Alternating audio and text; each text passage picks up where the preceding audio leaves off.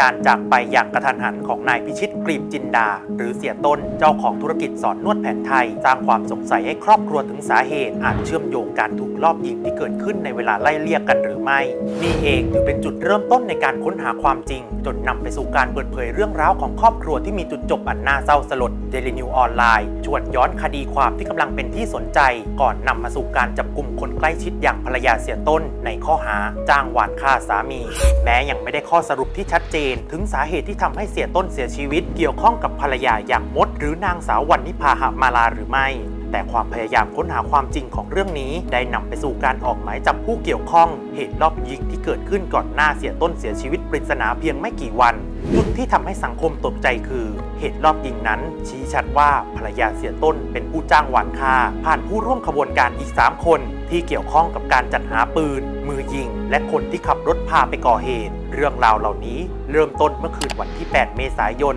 เสียต้นถูกลอบยิง แต่รอดชีวิตมาได้ จึงเข้าแจ้งความไว้ที่สอนอวังทองหลาง ต่อมาวันที่ 15 เมษายน เสียต้นเดินทางมาหาภรรยาที่จังหวัดมหาสารคาม ถูกพบนอนเสียชีวิตปริศนา เบื้องต้นไม่พบบาดแผลต้องสงสัย โดยภรรยาระบุ เสียต้นใช้สเตียรอยเป็นประจำเพื่อทำให้ดูตัวใหญ่ขึ้น ไม่แน่ใจว่าเป็นเหตุผลนี้หรือไม่ที่ทำให้เสียชีวิต ขณะที่ฝั่งครอบครัวเสียต้นติดใจ หลังโรงพยาบาลระบุสาเหตุจากการเจ็บป่วยที่ไม่แน่ชัด สันนิษฐานว่าอาจเชื่อมโยงกับเหตุรอบยิง ผ่านไปกว่า 1 เดือน เมื่อวันที่ 19 พฤษภาคมที่ผ่านมาครอบครัวเสียต้นนำโดยน้องสาวเข้าร้องเรียนทนายเดชากิติวิทยานันท์เพราะสงสัยว่าพี่ชายอาจถูกฆาตกรรม หลังพบพิรุษสภาพศพใบหน้ามีสีเขียวคล้ำ มือหงิกงอ เชื่อว่าอาจถูกวางยา ส่วนใครจะเป็นผู้ลงมือ ให้เป็นหน้าที่ของตำรวจ ระบุที่ครอบครัวยอมให้ชาพนักกิจโดยไม่ผ่าชนะสูตรเพราะเคารพการตัดสินใจของภรรยาเสียต้น แต่สุดท้ายครอบครัวก็ทนต่อความสงสัยไม่ไหว